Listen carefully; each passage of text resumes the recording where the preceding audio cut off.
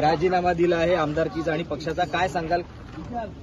नाही राजीनामा धक्कादायक आहे. अचानक का निर्णय घेतला? याच्यामागचं कारण अजूनही स्पष्ट नाही. त्यांनी काही कोणाशी चर्चा केली? तर मला माहिती आहे माझ्याशी चर्चा तशी कुठलीही झाली नाही. म्हणजे त्यांच्याबरोबर मी गेले दोन हजार सातपासून आज सोळा वर्ष झालेत. त्यांच्याबरोबर मी काम करतोय. त्यांच्या मंत्रिमंडळामध्ये मी काम केलेलं आहे. एक एक नाही दोन दोनदा काम केलेलं आहे राज्यमंत्री म्हणून. आणि माझे त्यांच्याशी फार सलोख्याचे संबंध होते. आणि कदाचित त्यामुळंच अनेक वावड्या उठल्यात. इथे गेले की वडेट्टीवार जातील त्यांना जोडून. यामध्ये काही तथ्य नाही. मी आता मतदारसंघामध्ये फिरतो आहे. त्यांच्या जाण्याचं कारण ते स्पष्ट करू शकतील.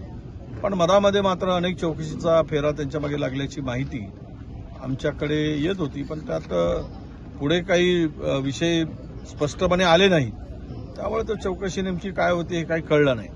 आणि आजचा हा धक्कादायकच निर्णय आहे. पण मी एक सांगतो आपल्याला की ज्या पद्धतीनं हे पक्ष फोडण्याचं काम माणसं नेते पळवण्याचं काम भाजपा करते आहे तर मला वाटतं की मतदान रूपी राजा मतदान देणारा मतदार राजा जो आहे तो अशा फाडाफोडीच्या राजकारणाला विटलेला आहे वैतागला आहे. आणि तो येणाऱ्या निवडणुकीमध्ये अशा प्रवृत्तींना नक्की धडा शिकवेल हा मला विश्वास आहे. भाऊ राज्य मागासवर्ग आयोगाचा जो रिपोर्ट आहे तो येण्याची शक्यता आणि मराठ्यांना वेगळं आरक्षण मिळण्याची शक्यता वर्तवली जात आहे. या आंदोलनाच्या पार्श्वभूमीवर काय सांगा नाही वेगळं मराठ्यांना आरक्षण देण्यात कुणाचाही विरोध नाही. पन्नास टक्क्यातून त्यांना नको ओबीसीच्या वाट्यातून नको ही भूमिका आमची स्पष्ट आहे.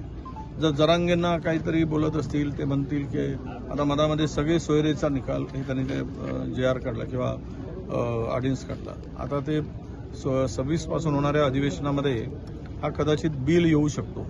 त्याच्यावर आमचं लक्ष आहे. त्या बिलामध्ये काय प्रावधान केलं आहे आता नक्की सांगता येत नाही. पण सगळी सोयऱ्यामुळे मात्र काही शिल्लक राहणार नाही. ओबीसीचं प्रचंड नुकसान होईल. तो निर्णय शासनाने परिपत्रक कदाचित रद्द करतील आणि बिल आणून त्यामध्ये स्वतंत्र जर आरक्षण देत असतील तर मराठ्याला स्वतंत्र आरक्षण देण्याला कोणाचाही विरोध असण्याचं कारण नाही. पण ओबीसीच्या वाट्यातून जर देणार असाल आणि ओबीसीच्या आरक्षणाला धक्का लावणार नाही धक्का लावणार नाही म्हणून धक्का लावणार असाल तर मात्र आम्हाला आमची भूमिका त्याला स्पष्टपणे विरोध करण्याची आहे आणि ते आम्ही विरोध करू.